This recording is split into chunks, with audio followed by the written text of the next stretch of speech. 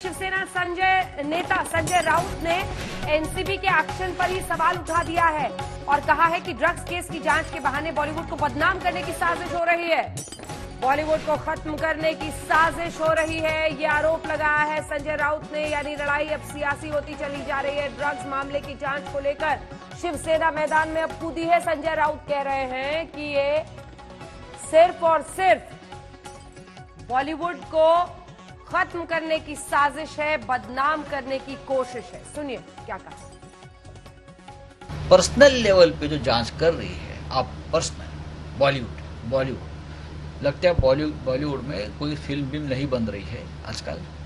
किसी को कुछ काम भी नहीं है, ना कोई संगीत दे रहे है, ना कोई फ़िल्म का डायरेक्शन कर रहे हैं, ना कोई स्टोरी लिख रहा है, ना कोई स्क्रीन प्ले बना रहा है, सिर्फ़ ड्रग्स ही ले रहे हैं।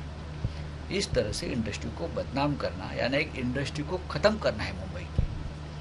मुझे लगता है कि ये बहुत सी बातें ऐसी होती हैं, इस प्रकार की जाँच जो होती है, ड्रग्स वाली, वो बहुत सीक्रेटली होनी चाहिए। जब तक आपके हाथ में ठोस एविडेंस नहीं है, जब तक आप किसी को एक्यूज नहीं मानते, तब तक ड्रग्स का धब्बा किस पर नहीं लगना चाहिए।